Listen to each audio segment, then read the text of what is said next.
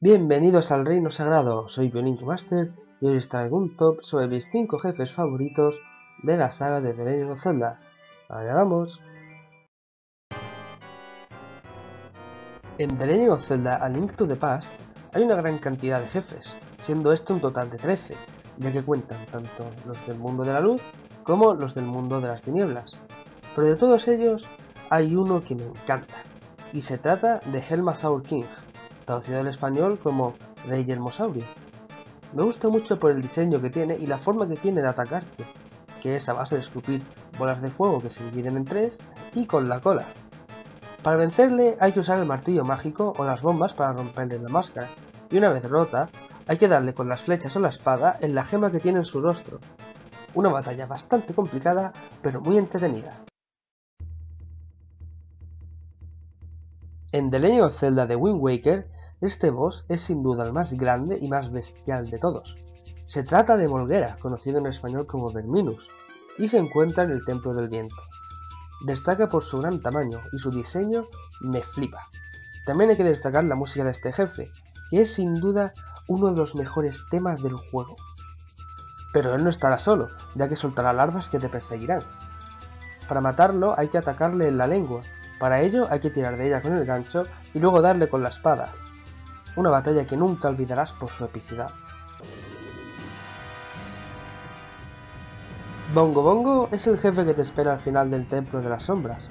El escenario y el ambiente en el que luchamos hace del combate algo siniestro, por no hablar ya del jefe. Manos cortadas, un solo ojo, cantando y tocando un bongo gigante mientras lucha contra ti. Es escalofriante. Para matarlo hay que usar las flechas contra las manos, y luego usar la lupa de la verdad para ver su cuerpo dispararle una flecha en el ojo, lo cual le aturdirá y entonces es cuando hay que atacarle con la espada en el ojo. Sin duda, mi jefe favorito de Ocarina of Time. En la gran caverna ancestral de Skyward Sword aguarda Iruoma, el guardián de la llama sagrada de Farol. Su diseño es brutal, seis brazos, dos con unas cuchillas que te lanza. A la mitad de la batalla se levantará y podrá moverse por el escenario, además de que te atacará con seis espadas, la mar de grandes. Lo bueno es que puedes quitarle la espada y usarla contra él. También invocará Bokoblins zombies, así que ojo con ellos. Para vencerle hay que usar el látigo para arrancarle los brazos, una vez que te ha atacado. Su corazón quedará entonces al descubierto y entonces le atacas con la espada.